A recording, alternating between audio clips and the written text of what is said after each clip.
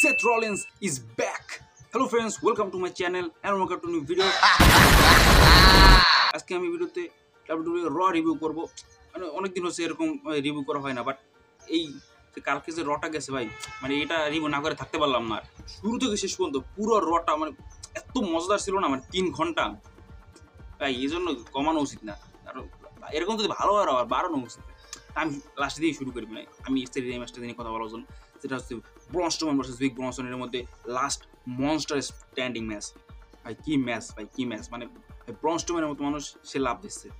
Security guard Bronson Reed এমনকি Adam Pearce তার উপরেও। মানে কত কিছু হয়েছে এই ম্যাচটার মধ্যে মানে এটা এটা এটা ম্যাচটা যারা না দেখবেন, তারা বুঝতে পারবে না ম্যাচটা আমি যত বলি ম্যাচটা নিয়ে। প্লিজ এই ম্যাচ সবাই দেখবেন যারা দেখেন নাই। অসাধারণ একটা ম্যাচ হয়েছে। আমি লাস্ট দিকে কথা বলতে ম্যাচটা তো দারুণ হয়েছি। আমার মনে যদি ভয় ছিল যে ব্রনস্টন রেডি হয়তো জিতবে বাট আমাকে ভুল প্রমাণ করে ডাব্লিউ একটা টুইস্ট দিয়েছে। এখানে মানে সবচেয়ে মজা এখানে রিংটাও ভেঙে যায়। এটা নিয়ে আমরা সবাই এক্সাইটেড ছিলাম যে আশা ছিলাম কবে রিং ভাঙবে, কবে রিং ভাঙবে মস্ত রাইভারি করছে রিং তো ভাঙতে হবে, কারণ লাস্ট রিং ছিল অনেক বছর আগে। দুই হাজার বিশ সালে আই থিঙ্ক ব্রনস্টমানের সাথে তখন ফিল্ড ছিল তার আগে ছিল দুই সতেরো সালে, তখন ব্রনস্টমান এবং বিক্স ছিল। এছাড়া তো মডার্ন যুগে রিং ভাঙে নাই। তার বিক্স মার্ক হেন্ডি তাও দু হাজার এগারো, বারো সালের দিকে, তার আগে বিক্স ব্রকলেস এদের সময় ভাঙছিল। তো এটা অনেক আশা ছিল কবে ভাঙবে, এরকম একটা দুই হাজার চব্বিশ সালের মুভমেন্ট থাকবে। এখন রিংটা ভাঙে না, আলাদা একটা গুজুম ছিল রিং হয়ে গেছে। আর এবারে তো ইচ্ছা করেই পড়ছে, দেখে যা মনে হলো। তা তারপর দেখছি বনস্টনটি আগে উঠছিল বনস্টন তো সেই শুয়ে রয়েছে। বাট যেই উঠছে কেউ হঠাৎ করে পিছন থেকে এসি স্টম্প তারপরে বনস্টন উঠে গেল আর জিতে গেল। আর পরে দেখি আমরা এখানে এসেছে আমাদের সবার প্রিয় সেথ রয়েন্স আর সবসময় তাকে মানে হিল ভাইব ছিল আজকে। মানে ড্রেসটা খুব নর্মাল ছিল তো, এই দুই হাজার বিশ সালে মাসায়ের কথা মনে করে দিয়েছিল। তারপর সেথ রয়েন্স বনস্টন মানে হাত জাগিয়ে দিল। মানে রয়েন্স বনস্টন একসময় কিন্তু র ট্যাগ টিম চ্যাম্পিয়ন ছিল। এবং দুই হাজার উনিশ সালে রতে কারণ মনে আছে, তখন রয়েন্স ইউনিভার্সাল চ্যাম্পিয়ন ছিল। সেদিন কথা মনে পড়ে গিয়েছিল। তো মানে খুব এক্সাইটেড হয়ে গিয়েছিলাম আমি তাদের দুজনকে দেখে। এই সামনে হয়তো কোনো স্টোর পুরুষ হবে না এখন হয়তো বনস্টনের সিথমাসের মধ্যে ম্যাচ আই থিঙ্ক হবে ক্রান্সওয়েলে তাদের মধ্যে এখন রাইভেল রিবিল করা শুরু করে। বংশমান আই থিঙ্ক বাতিল হয়ে যাবে। আর নাও করতে পারে, হয়তো বংশমান দিকেও তো লাগতে পারে যে বংশমান তো আমাকে হেরে দিলে কেমন? কারণ তাদের মধ্যে ক্লিন আমার মধ্যে কেউ জিততেই পারেনি। ক্লিন তাকে বলে। এটা কিন্তু সেলিন বের করল মানে পিন করে অথবা সাবমিশন করে তো কিছুই হয়নি লাস্ট মনস্টার ছিল এটা। এখন তোমার দেখতে স্টোরি কি বলে সেতুরান শিখে গেছে, আলাদা মজা শিখে গেছে। ব্যাট ব্লাডের মধ্যে ম্যাচ তো হবে বাট খুব হাইপ কমে আসে এখন। সেটা হচ্ছে ফিনবল অবশ্যই ড্যামি পেস অবশ্যই বাট মানে এখানে ভাই ড্যামি পেস্ট এই রতন খুব ধুয়ে রেখে দিয়েছে পুরো জাজমেন্টে এইভাবে মেরেছে। ফিনবল তো কতগুলো যে কুড়ে করে মারছে ড্যামি পেস্টকে আর ঠিক নেই।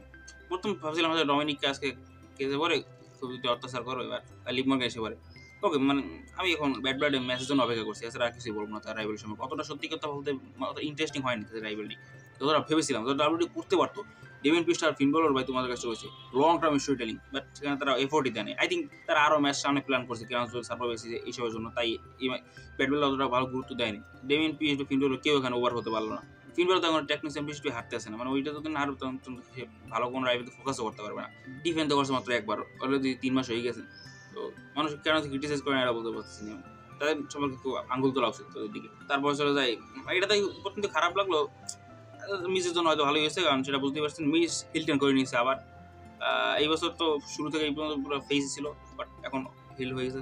চাইছিলাম সামনের বছর করলে ভালো হতো, এক বছর টানা ফেস থাকতো, সেটা করল না ডাব্লিউডি প্রথম আটু রিটার্ন করে। আর মিস রিটার্ন করে কারও যৌক্তিক মানে আটু রিটার্ন করে আমরা ম্যাচ সেট করে পেয়েছি মানে মিস তো এরকম অনেকবার হয়ে হয়েছে আটু তাকে না বলে ম্যাচ সেট করে না এইভাবে তারা চ্যাম্পিয়নশিপটা হেরেছিল। তো তাই মিস রিটার্ন করে। এটা খুব ভালোই করে। আর খুশি আর ক্যারিয়ান করে আরে তার খুশি মানে কি? প্রথম সাকসেসফুল হয়েছে কাউকে ম্যানুপুলেট করতে। তার দিকে। এখন সে হিল হয়ে গেছে। আর এরপরে বলা হয়েছে যার চারশো প্রোগ্রাম বলে, সে হচ্ছে এক্সাইভিয়ার রুট ইয়াস এক্সাইভিয়ার রিমিস্টির ম্যাচ হয়। এবং এখানে ইচ্ছে করে কিন্তু এটা যারা ভালো করে দেখবেন রেমিস্টি কিন্তু ইচ্ছে করে তার এই মাস্কটা খুলে দেয়, একটা বাটন থাকে। তারপর এক্সাইভিয়ার তুলে নেয়। মানে মাস্ক তুলে থাকলে মানে মজাই লাগে যে রাইভেলটা অনেক হিট জেনারেট করতে পারে। তো এক্সাইভিয়ার ম্যাচটা সিটিং করে একটা বলে দিতে তারপর কফি জিজ্ঞাসা তুমি কি সত্যি এটা করছ? এক্সাইভিয়ার স্বীকার করবে। না কবি বলে যে, আমি ইন্টারকন্টিনেন্টাল চ্যাম্পিয়নশিপ ম্যাচ সেট করেছি আমার সাথে জেউসর এক্সিবিশন মুখের দিকে থাকব মানে সে কিন্তু হিংসা জলস হয়েছে হ্যাঁ? তোর কি ম্যাচ সেট করছ হ্যাঁ? আমার কিছু দিবি না তারপর কবি কিন্তু ভালো মনে মানুষ হয় না ম্যাচটা তোমার, সামনের সপ্তাহে তুমি ইউসের সাথে লড়বা। Yes Jey Uso versus Xavier roots next week set হয়ে গেছে ইন্টারকন্টিনেন্টাল চ্যাম্পিয়নশিপ আর এরপর কবির একটা ম্যাচ হয় জ্যাট কেবলের সাথে এই ম্যাচটি ঘটনা না ঘটলে আমি জানতাম জেড কেবল কফি জিতবে না। বাট ঘটতে চাই মানে কফি ট্রাভেল ইন প্যারাডাইস মারতে চাই বাট এক্সাইভের জেড কেবল পার্টে ধরে, তাই কফি তাকে মারতে পারে না। পরে জেড কেবল সুপ্লেক্স মারে ম্যাচটা জিতে। মানে এখন ভাই কনফিউশন কে হিল করবে? কফি করবে না এক্সাইভের করবে? এখন সেটা দেখার বিষয়। সামনের সাথে কি হবে হতে পারে, কারণ চ্যাম্পিয়নশিপ ম্যাচ হেরে যাওয়ার পরে হয়তো হিল করতে পারে কেউ। আর এরপর আসি মানে জেউসের সেলিব্রেশন মানে র শুরু হয় এটা দিয়ে, ভাই ইমোশনাল হয়ে গেছে জেউসের সেলিব্রেশন থেকে। আর তার চেয়ে বেশি তার ধাক্কা খেয়েছে, সেটা ব্রন ব্রেকার ফেস ভাই। আর ব্রন ব্রেকার এসে হাত চেক করল, আমি বলি স্পিয়ার মারবো না আমি মানে খুব ভালো হয়ে গেছি। অনেকদিন পরে এখন দেখছি থেকে হেরে তার প্রমোশন হয়ে যাচ্ছে। গুন্থরের পরে তারপরে ব্যাকস্টেজে আমরা দেখতে পাই যে বরন ব্রেকার গুন্থারকে কনফ্রন্ট করছে। মানে বুঝতে পারছ তো ওয়ার্ল্ড হেভি চ্যাম্পিয়নশিপ ম্যাচ এখন হবে, গুন্থার ভার্সেস বরন ব্রেকার কারণ তার আজকে ফেস আপটা হয়ে গেল, তারপর এখন আস্তে আস্তে আমি এক্সাইটেড ভাই। এই বরন ব্রেকার কিন্তু ওয়ান অফ দেম যে গুন্থারকে এনএসটিতে হারিয়েছিল। তো বড় ট্রেড আর যে গুন্থারকে আরেকবার রেসেলমেন্টে হারিয়েছে, তার কথা বলি, যে সেম ইজাইন তার সাথে গুন্থারের নেক্সট উইকে ম্যাচ সেট হয়ে গেছে ওয়ার্ল্ড হেভি চ্যাম্পিয়নশিপ এখন রতে হবে মানে আমি একটু অবাক হয়ে গেছি। কারণ গুন্থারে সে এবার মানে আমি একটা মাসের দিকে আমি পিছু সারাতে পারছি সেমিজিন মানে সে অপমান করেই যাচ্ছে। রেসেলমিনে আমার বাবা এসেছিল আমার দেশ থেকে খেলা দেখতে, তো আমি তার সামনে হেরে গিয়েছি। তাই বলে একটা কথা বলছি, আমি জন্য এসেছিলাম? ভাই, গুন্থার ইগো চলে গেছে ভাই ফ্যামিলি প্রবলেম এখন। আর সেমিদিন বলে গেছে, তার মানে দুর্বল পয়েন্ট তার বাবাকে নিয়ে আর কথা বলা শুরু করে। গুন্থা বল, তুই তো ফ্যামিলির সাথে অনেকবার হেরেছিস, আমি তোর বেশি হারিনি। তো এখন ইগো চলে গেছে আর কনফার্ম গুন্থার জিতবে। সেমি যাই এবার আর জিততে পারবে না। তো ম্যাচটা তো ভালো হবে। রেসেলমিনিয়া টাইপের হলে তো হবে। রেসেলমিনিয়া ম্যাচটা যদি ছোট ছিল, সতেরো মিনিট এবার বড় হলে আর ভালো হতো। দেখি কি করে রত যেত ম্যাচ রতে যাওয়া উচিত। আমি যদি বেড প্লেয়ারে ভালো হতো আমি ক্রাউন চলে সেট করলে ভালো হতো। আর ওই আর দিস কি? Rise জোসের berry.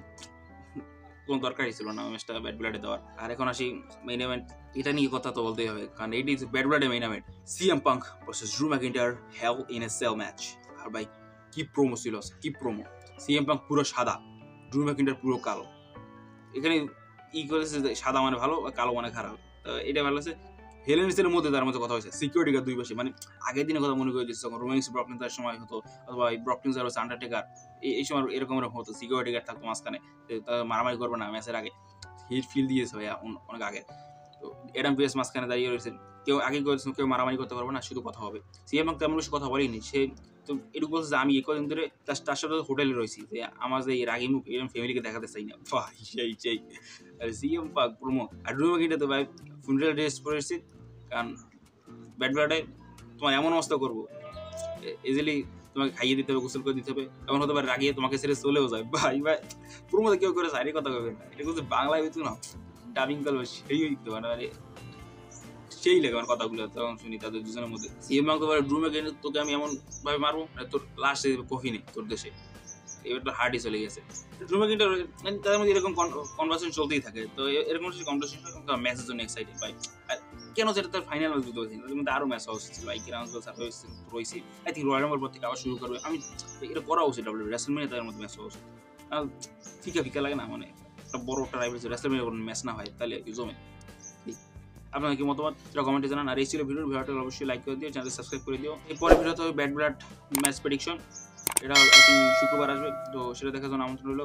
Thank you for watching goodbye তোমার কথা শুনে মনে হইতেছে তুমি বিরাট জ্ঞানী মানুষ হয়ে গেছো।